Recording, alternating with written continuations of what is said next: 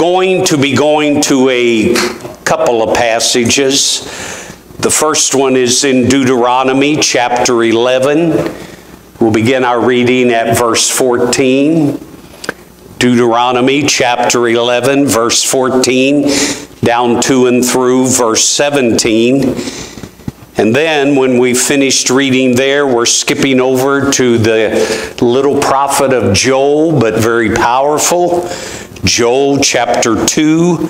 And we're going to read verses 23, 24, and skip down to verse 28. But Deuteronomy chapter 11 here First of all, everybody have it? All right, and if you don't, it's up here. Deuteronomy chapter 11, verse 14. And here's what God says unto Israel And I will give you the rain of your land in his due season the first rain and the latter rain, the former and the latter rain, that you may gather in your corn and your wine and your oil. And I will send grass in the fields for your cattle, that they may eat and be full. Take heed to yourselves that your heart be not deceived and you turn not aside and serve other gods and worship them.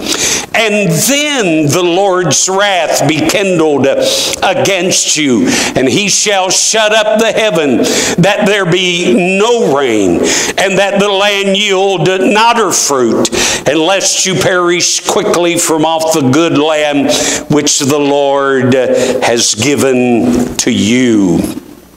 Back to Joel chapter 2, and there are several verses here, but I'm going to begin reading at verse 23, 24, and then skipping down to verse 28. Be glad then, you children of Zion, and rejoice in the Lord your God, for he hath given you the former rain moderately, and he will cause to come down for you the rain, the former rain and the latter rain in the first month. And the floors shall be full of wheat, and the vat shall overflow with wine and oil.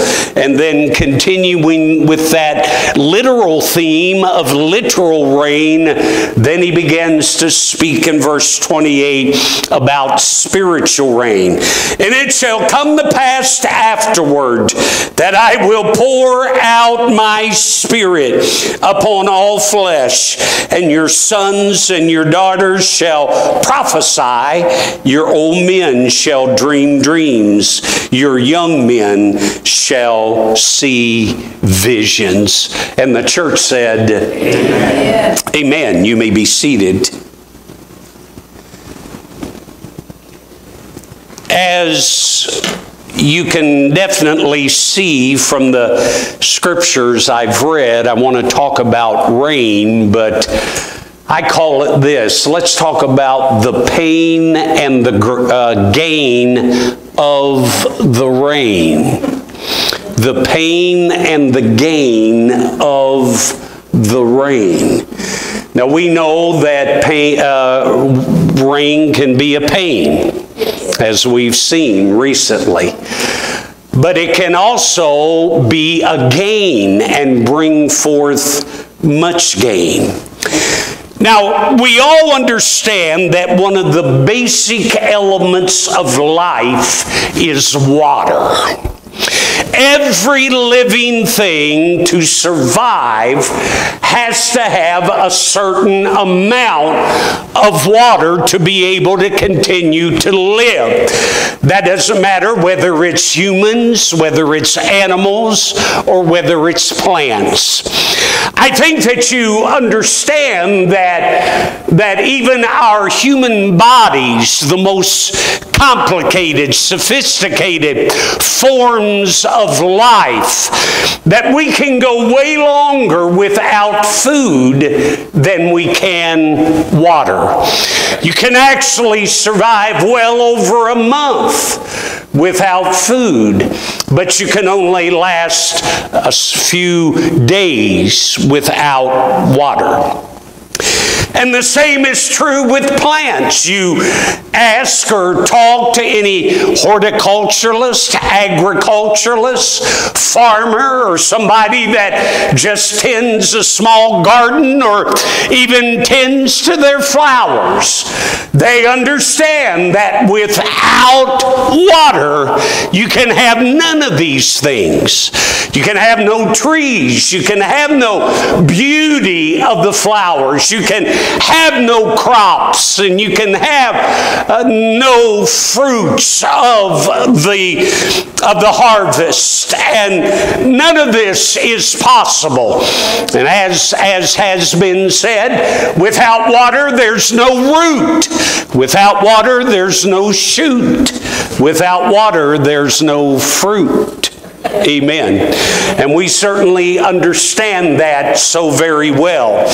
And we also know that one of the basic ways and primary ways in which all living things that water is rendered unto them is through the rain as uh, we, we know the process, and the Bible even talks about it that there's the water here, it evaporates by the sun, goes into the clouds, accumulates, and then it falls back to heaven. This cycle over and over and over again. But what a great plan of God.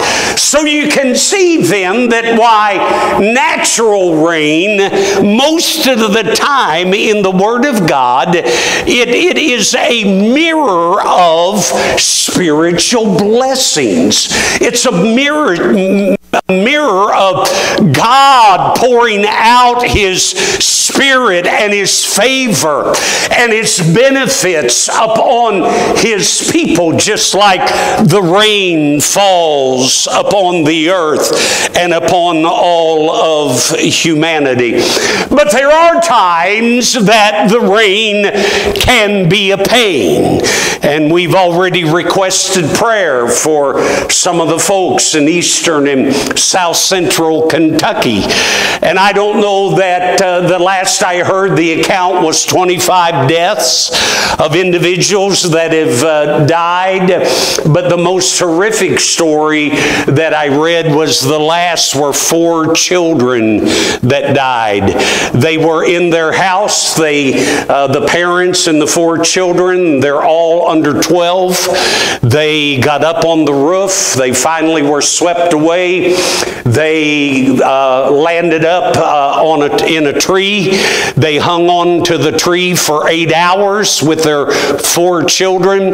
But finally, as the water rose and uh, the current became faster, they could not hang on and they lost their children, and every one of them perished. How sad. Sad the pain of rain and floods. But we, we, so sometimes we know that too much rain at one place in the wrong time uh, can not only be devastating and dangerous, but deadly and bring pain and sorrow and, and suffering into the lives that, that have to experience that. And even Jesus makes reference to the rain as being painful sometimes. At the end of his great Sermon on the Mount, he closed out with this illustration. And he said, Individuals that hear my words and do them will be likened unto an individual man who builds his house upon a rock. But they that hear my words and do not heed them and do not do them. They are likened unto a man who builds his house upon the sand, which is a, a deadly mistake. But then Jesus goes on. And so you see, he says that whether you're a child of God and you listen to the Lord and you build upon the firm foundation of Him, or whether you're not a child of God and foolishly build your life upon the world and the things that you have built, he said that both groups of individuals are subject to the storms of life. He said in both cases, there in Matthew 7, he said, The rains fall and descend, and the floods rise. And he said, The winds blow. And to that house on the sand, devastatingly swept away, and no doubt life as well. So even Jesus recognizes that too much rain in the same place can be a pain and bring pain and misery into the lives. But by and large, throughout the Word of God, every time you read about rain, it speaks of a spiritual blessing, of an outpouring of Almighty God generously, graciously upon His people. The most time, rain speaks of refreshment upon a dry and dusty dusty and uh, a parched land. It speaks of life that is life giving unto a barren desert and speaking not only of the natural land but of the hearts of, of individuals. And that's why that here in our text that we read out of the book of Joel, that in verses 23 and 24, he's talking about the natural rain. He said, I'll, I'll send to you the former rain and then the latter rain. And because of the rain, you will prosper. You will be blessed. Uh, your, your stalls with your cattle and in the field will be full, and so will they. And uh, every part of your life is going to be blessed. But then he takes the physical to illustrate the spiritual. And that's why that I jumped down to verse 28 and he said that in the last days I will pour out my spirit. Just as I have poured out the former and the latter rain, so I will pour out spiritually the former and the latter rain. Now, notice how Joel, I like the word that he used. He didn't say that there's just going to be a slight trickle or a slight drizzle or just a sprinkle. You know, Cynthia and I were driving down the highway the other day and it looked so ominous and, and cloudy, and we just kept saying, It's, it's got to rain, got to rain. And then all of a sudden there was a, just one little splash upon the windshield. And uh, we said, Well, there's the first raindrop. And it didn't rain for a little while. But you see, that's not what Joel's talking about. He's not talking about one drop. He said, The Lord said, says, I will pour, I will pour out my Spirit in abundance, in, in generosity, holding nothing back. And we also know that uh, in the book of Malachi, uh, that Malachi used the same narrative and the, and the same wording when he's talking about tithing. And he said, If you'll not steal from God, but you will bring your tithe into the storehouse, he said, Will I not pour out a blessing. I will pour out a blessing that you cannot contain.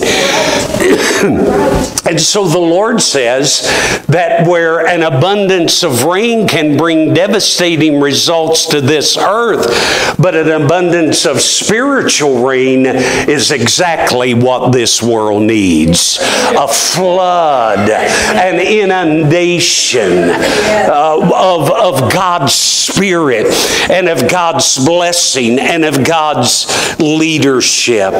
And so, this former and this latter excuse me, rain that he's talking about. What is it? What, what is it used for? And I have said for years that I think people are misinterpreting some of this. And so let's take a look at it.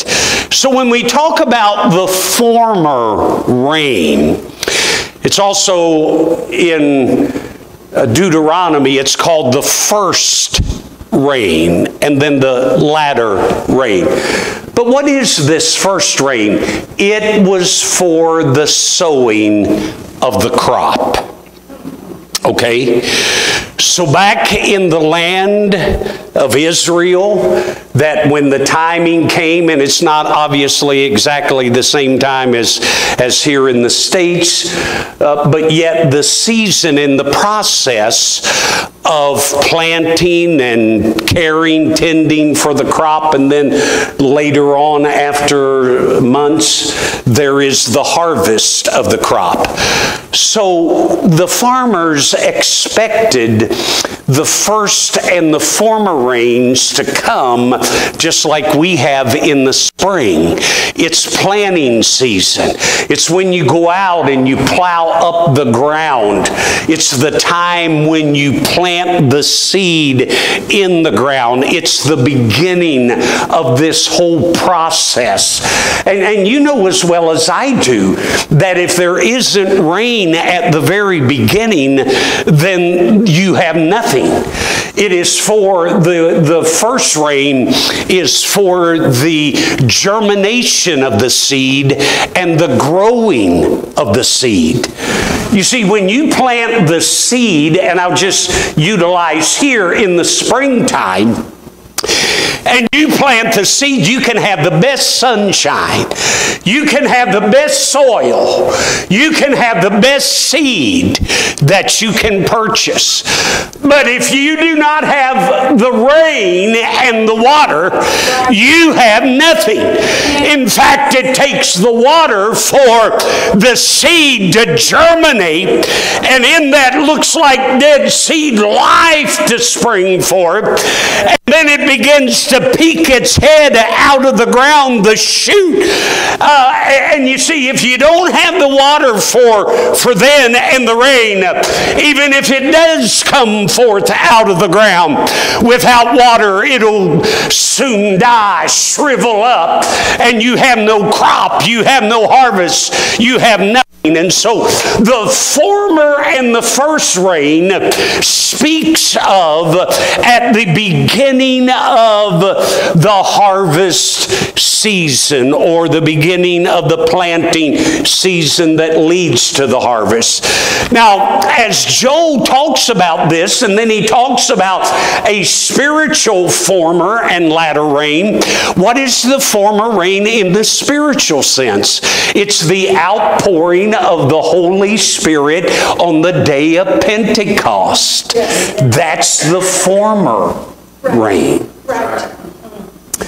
And even uh, he talks about Peter that it was prophesied in Joel that in in in that time that he would pour out his spirit and he did and so you see at the very beginning of the birth of the church at the very beginning of this transition from judaism over to christianity that at the very beginning there was such an abundance of rain of the holy spirit that was poured out not just on the day of Pentecost. And, you talk about getting the church started right. Man, I mean, God poured out uh, His Spirit and poured out His Spirit. In fact, the Bible says in Acts chapter 2, uh, there, uh, I believe it's in, what is it, uh, 40. 41, right. That the Bible says that after Peter had preached, notice, uh, 3,000 souls were saved. And then a couple of days later, that the Bible says uh, in in the latter part of chapter 4 uh, no, I'm sorry. Yeah, or, or, the first part of chapter 4, moving from chapter 2 to chapter 4, he said there were 3,000. But in chapter 4 and verse 4, it said that 5,000 men were added to the church and saved. Now, it didn't count the women that on many occasions in the Bible, the feeding of the 5,000. It says they counted the men. So obviously, with women and children, children, there would have been way more. But here with women, 5,000, we don't know what that number would have swelled. So within a couple of days, you had close to 10,000 souls that were saved, that were planted into the uh, field of the Lord Jesus Christ. And then the Bible goes on and it, it forgets about the numbers. The numbers numbers are getting so big that as you go to Acts and you're still in chapter 4, and as we said in verse 4, it said that they're there, there were 5,000. But he says in verse 32, and the multitude of them that were believed. So he's not even counting, he just says a multitude. And then as you skip down into verse or chapter 5 and verse 14, the Bible says, and believers were so much more added to the Lord, multitudes, plural multitudes, and he says here, both of men and women. But notice, not only uh, were they added to the church, multiple thousands of individuals within a very short time of the planting of the church. So this is the first and the former rain where God is pouring out his Spirit and giving a good start to the church so that it will survive and so that it can thrive regardless of what comes uh, until the harvest season comes. And so praise God. But not only were they added, but notice the power in so much in verse 15 that they brought forth the sick into the streets and laid them on beds beds and couches, that at the least the shadow of Peter passing by might overshadow some of them. There came also a multitude out of the cities round about unto Jerusalem, bringing sick folks and them which were vexed with unclean spirits, and they were healed, everyone. Man. So when Joel said, you do right and you obey God and you turn from your idols, God will pour out His Spirit. And notice how He did. And with, like I said, in a short time, multiple thousands of individuals who were saved. Now, a lot of times, you and I, we were not there, obviously. I can't imagine what it would have been during that time. But of course, with the good was persecution. So, uh, you know, that's not so good. And many gave their lives for it. But, but we, we, we think of the latter rain. And a lot of people said, well, that's the former rain. But in the latter rain, in the last days, God is going to pour out His Spirit again. And yes, He will. But I think where some people go awry is they say this is going to bring in worldwide revival. But that's not what the Bible says. The Bible says in the last days there's going to be a falling away. So, this thing of of multitudes, thousands. That was for the early church, for the establishment. But yes, God will pour out His Spirit. There will be a latter rain, just like Joel promised. But if it's not a worldwide revival, what is the latter rain for? Well, let's go back and look at Israel in what Joel utilized as their farming and the former and latter rain naturally, and then utilize that as the spiritual rain of God. So the former rain was at the beginning of the planting season. And you know that you don't plant and you don't harvest the next day. There is a season of time until the harvest comes. And so we find that the latter rain does not add to the size of the crop, but it sustains the crop that is already planted. Yes. Are you following me? So, are we going to see the multitudes and thousands that are saved at the day of Pentecost and in the early days in the former rain? I don't think so. But I do know that us of us who are already planted, we're already in the field of the Lord. And when things get tough, that God is not going to leave us alone. But He said in the latter time day, I will pour out my spirit again. Why? So that that church in the last days, under persecution and trials and devastation, will be able to stand and will be able to thrive and will be able to continue and to be able to stand fast until the harvest time actually comes. Can somebody say amen? amen?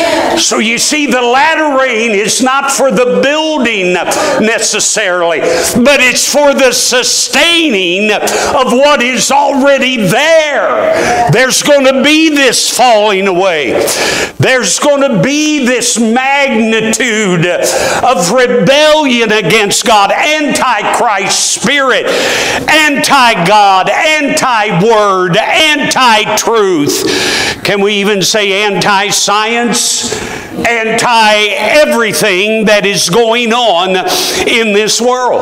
But we are in this world as us, we that have been planted. But how we going to survive? We're trying to grow, we're trying to continue, we're trying to hold on. But how we going to survive? It's because of the latter rain, and the Lord pours it out. So here's how I believe the latter rain is going to work it's not necessarily going to be a worldwide revival, but there's going to be pockets of revival. There's going to be pockets of places. Yes. That which they saw in the early church is still for us today. And you see, the rain, the former and the latter rain, there was no difference in the rain. It was the same. Uh, but the only difference was the hearts of the people where the Word of God was planted. So you see, we can still see individuals healed, we can still see individuals delivered. We can can even see masses of individuals saved. But as far as a worldwide revival, uh, that's not what the latter rain was for. That's not what it was tended for. But in those pockets of places where the faithful crops trying to bear fruit until the coming of the Lord, that they were saying, Lord, come, come, we need the latter rain say, Send the rain upon us. God is going to be faithful to do that in those pockets. And I believe that the blessings that we have seen here at Mascoutah First Assembly of God, that it's part of that latter rain to encourage us and healings and blessings and deliverances and yes, even But praise God, it's basically for the sustaining of the crop so that there will be a harvest in the very end. There's a passage of Scripture that is referred to in the Psalms, Psalm 84 and verse 6. Now, I, I don't have the time to delve too much into this, but it is a psalm that they sang. You remember that everybody didn't live in Jerusalem. But when they had their special feasts and their special services, that people would come from a distance of the outlying communities and they would travel to Jerusalem, to the sanctuary, is what it's called here. And he even starts out in verse 1 How amiable are your tabernacles, O Lord of hosts! For my soul longeth, yea, even fainteth for the courts of the Lord. He's talking about coming to church. Man, I wish we had people today that had a desire like that. Amen. And so, what he's talking about as they traveled, and sometimes it would take days for them to travel with their families to get to Jerusalem. And that's what part of the, this psalm, or that's what really this whole psalm is about. But he's saying that even as you travel, as you are, are, are trying to be pleasing to the Lord, how that even in the valleys, God is going to be there with you and sustain you. And so that's verse 6 who passing through the valley of Baca make it a well. And then he says, the rain also fills the pools. Even in the valley even in the valley. And so I want to liken this, these pilgrims and strangers making their pilgrimage to Jerusalem. And they're going to be sustained in their travel to you and me as we are in our journey, as we are trying to make it to the harvest season and the time when the Lord even calls us home or we go. That as we walk through even the valleys, the Lord is going to supply that which we have need of. Now, notice what he first of all says. Uh, he said, When you go through this valley, and the valley means weeping, you go through a valley of weeping, a valley of trials, a valley of, of, of, suffering, or a valley of pain, the pain and the gain of the rain. But when you go through the through the valley of pain, he said God is going to be there. God is going to pour out the rain upon you. But the first thing you need to do when you run into a difficult time is do everything you know to do. Dig a well. Yes. Right. Instead of just sitting back and say, okay, God, uh, you got to take care of this, and we do do that. But God says, there's sometimes there's something for us to do. Yes. And we need to, okay, there's no water. What are we going to do? We're going to dig a well. I'm going to try to find some water somewhere. And then he says that if you do not find well that has water, then he said, The rain will fill the pools. Here's the idea if you don't get from below, you can expect it to come from above. They're not shouting yet, but I, I say that every service, but uh, uh, you, you catch the drift. Yes, That we do all that we can do, and then when we come to the end, we say, Lord, send the rain, send the rain. And what are the pools? The pools is that they dug a well, then they dug pools out that sat on top of the ground that was basically would collect the rain when it came. So if you dig the pools, that means you're you have faith that God's going to do it even before he does it. That means you're trusting in the Lord uh, to supply your need even before uh, the the supply comes. But he said just as sure as God is God and just as sure as you in the last days find yourself uh, trying to make your journey to the kingdom of God, there's going to be trials, there's going to be valleys of pain and fear and troubles and circumstances. But he's saying if you do not find water when you dig a well, that God will pour out his spirit from the heavens and fill the pools of which you have dug. So there's so much there in that psalm because you see, the more pools you dig, the more water you're going to have. Yes, hallelujah. Thank you, Lord. So even when the answer hasn't come yet, we've got to act by faith that we believe it's coming. Amen. Amen.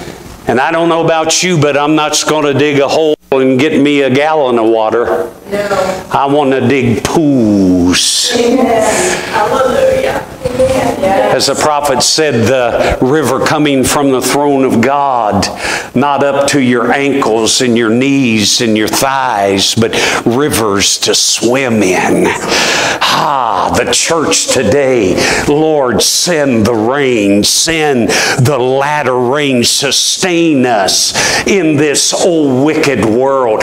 Keep us from compromising. Keep us from giving in. Keep us from turning back. Sustain us. Give us the latter rain. Yes, amen. Praise God. The the third thing, which is not necessarily mentioned in our text, but certainly goes along with the last days of all places, is referenced in the Song of Solomon. And in the Song of Solomon, once again, I, I can't get in to the details of, of the background of this, but you know, the Song of Solomon is for a husband and a wife. There's some people even suggested the Song of Solomon shouldn't be in the Bible because of how graphic it is. But it's there for a reason. Yes. And it's there for a husband and a wife, but which mainly is representative of Jesus and the church. So when you see Solomon talking about this beautiful girl, it's Christ talking about the beauty of his church. And when this beautiful girl speaks of her her wonderful, handsome, strong hubby, it's the church talking about Jesus Christ. So there's so much beauty that is found in the Song of Solomon if you read it correctly. And here basically it's talking about difficult times. You come through the winter season and then the lilies begin to bloom and life begins to form and the spring, the, the early and the former rains begin to come for the planting of the crops. But listen to what he says or she says uh, in, um, in Song of Solomon 2.11. She starts out there in verse 8, In the voice of my beloved, beholdeth he cometh leaping up on the mountains, skipping up on the hills. So she's talking about her husband, church talking about Christ. But then as you go down to verse 11, For lo, the winter is past, and the rain is over and gone. the flowers appear on the earth. So, so once again, symbolically, she's talking about difficult times that the church goes through. But if you hang on, uh, our, our lover, Jesus Christ, is going to sustain us in those times, and the flowers will bloom again. Yes. Hallelujah. They will bloom again. Yes. And, and, and I know there's a lot of different interpretations going on here, but I, I just want to spiritualize it, bring it to its uh, basic lowest element. When he talks about the winter and the rain being over, he's talking about not just the former rain and the latter rain, but, but she is talking about a winter rain. Yes. And so, whereas the former rain is for the sowing of the crop, the latter rain is for the sustaining of the crop, the winter rain is for the seducing of the crop. What happens when it rains in the wintertime and it's below freezing? you get ice. Ice is worse than snow. Black ice, where you do not see, can be very devastating, but here's the key. Ice, rain, the winter rain brings ice, and ice causes you to slip and to slide and to. I see Christy looking at Stan. Uh, that vision came into my mind immediately. It causes us what, Stan? To fall. yeah. And what does the Bible say in the last days? There shall be a, a falling. A falling because of the winter rain. So you see, simultaneously, why we are in the latter rain and God is helping us, the devil is pouring out a winter rain, seducing people, deceiving people, trying to get them to lose out, fall out with Almighty God, and to fall away from what they already have. And so, this falling away that, that, that as we read in the Word of God, it's not just people that's rebellious against God and, and they want nothing to do with God. Yeah, that's part of it. But the sad part of the last days in the falling away is people that once had an experience with God, but they bought into the lie. They bought into the seduction. They bought into the deception. And they bought into it and turned their back on God and now walking away from the things of the Lord. So you see, there's some people that have walked away from it, but by and large, a lot of these people, it's deception. They think they're going the right way. They think they're doing the right thing. They think they're observing the right counsel. That this is what I need to do. But let me tell you, church, that even in the last days, the church is only going to be a shadow of what she was on Pentecost. And how many churches has has the shadow but doesn't have the substance. And that's with us here. I don't want to deceive anybody.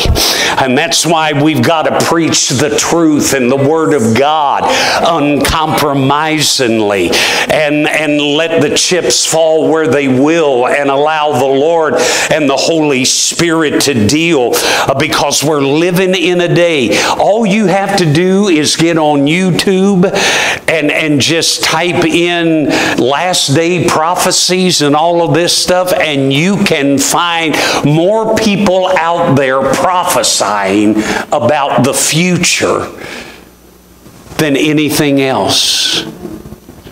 And that's why that we need to be careful.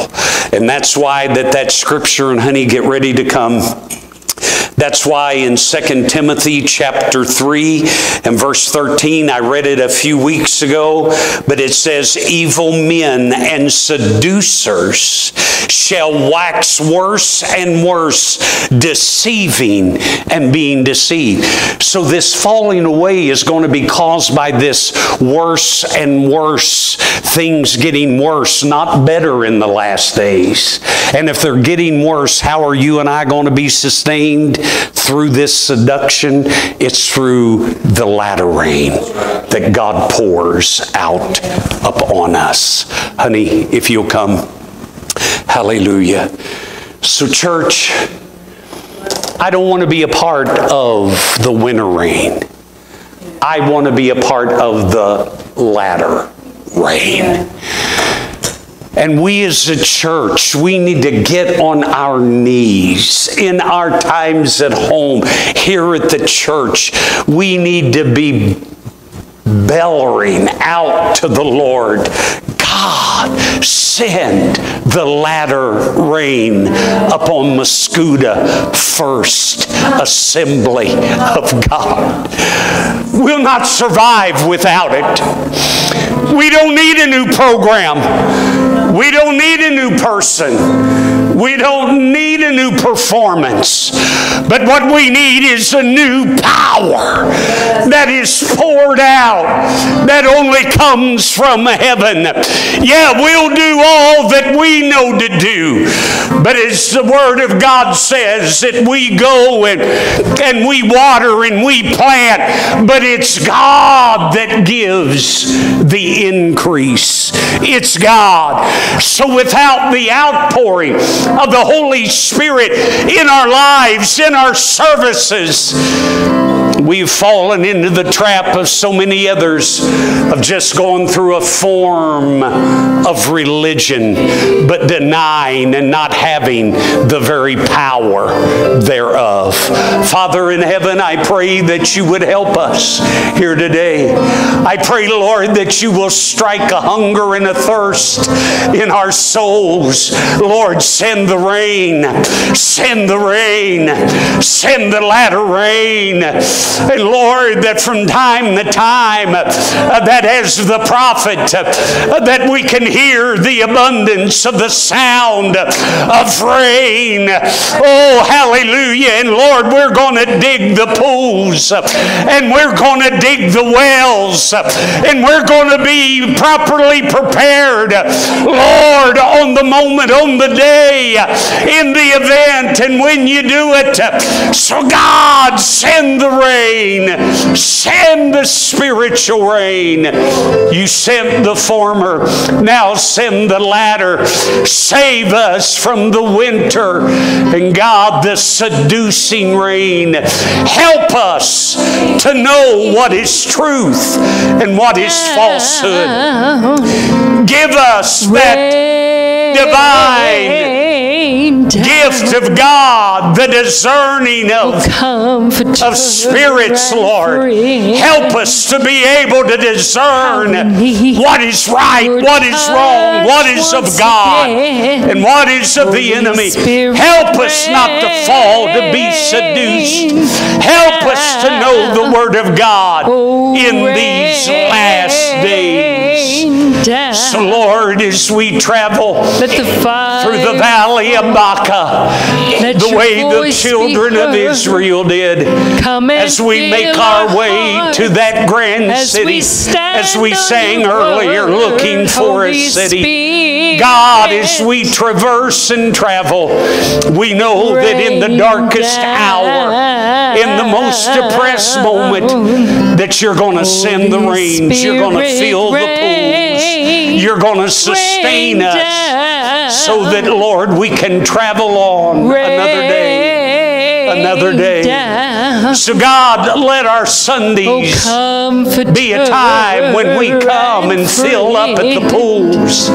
Let it be a time that, Your Lord, on Sundays, again. that we can drink from the Spirit abundance of pools. And Lord, through the week, that we'll dig a well. We'll dig a well. We'll do all that we can do. Father, I know that you're going to sustain us. Let your voice You're not going to give us the former rain and give us such a glorious start and then fail us right in the middle on your word. or right at the end.